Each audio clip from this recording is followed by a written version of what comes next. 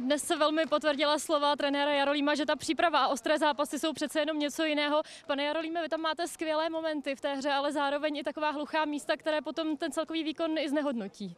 No, hlavně ty hluchý místa v zadních řadách. No. První gol jsme pozdě zareagovali na náběh, to nabíjejícího hráče jsme ne, ne, nezachytili. A, no druhý gol, to byly dva prohrané souboje a, a nakonec to skončilo, skončilo penaltou. No. A třetí gol po standardce, i přesto, že jsme věděli, že Baník na Sláví dvakrát skoroval po rovovým kopu, tak e,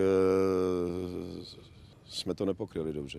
No, když sezóna začínala, tak to při pohledu právě na vaši soupisku vzhledem k dvojici Karafia Suchý vypadalo, že tahle obrana bude právě vaší silnou stránkou. To máte pravdu. Přeci jenom jsou to už zkušený hráči, kteří mají něco za sebou, ale bohužel ty, ty výkony e, zaostávají za očekávání. Jak moc vás také mrzí ty slabé vstupy do obou poločasů, protože si troufnu říct, že kdybyste hráli celou dobu tak, jak právě v jejich závěrech, tak byste možná brali tři body. Víte, nedělal jsem nic jiného, nebo nic jiného.